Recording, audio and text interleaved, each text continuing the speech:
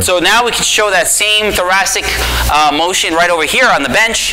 And um, basically, if it's too hard on the Bosu, I would start with this because now you're taking the legs away.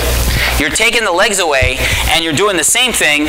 So here you could put a kettlebell into the hand on the left side and he can drop it and create that same rotation. Notice what he's doing if you can slow down the motion a little there, coach.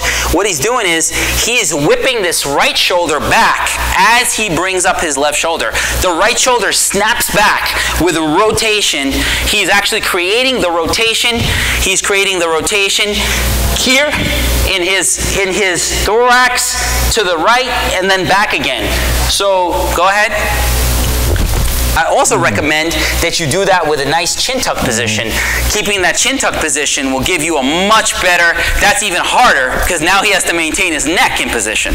That can make it more challenging. Another interesting way of doing that is if he is fighting orthodox style, right? Orthodox boxer would be his left leg forward, right? So he could do that with his left leg Yeah. forward and his right hip backwards. So can you show us the position of that one, coach? Uh-huh. If you put your right leg backwards, Oh, okay, yeah. right? So now he's recreating this. Yeah. You see that, guys? He's recreating it without ground reaction force. So he can learn how to dig his heel into the ground, squeeze his buttocks, squeeze his buttocks there, get his muscles to work while he's creating that torsion in his thorax, and, and the neural tension is going to start to build up. Let's see that mm-hmm. going there.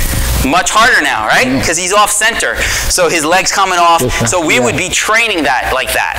Okay? So that's another way. And the, the last one that we can do is uh, off the ankle. Yeah, so the so yep, show us how you do that for us. And he's creating that rotation thoracic spine in the thoracic spine. And again, why would you train both sides? You don't have to train both yeah. sides.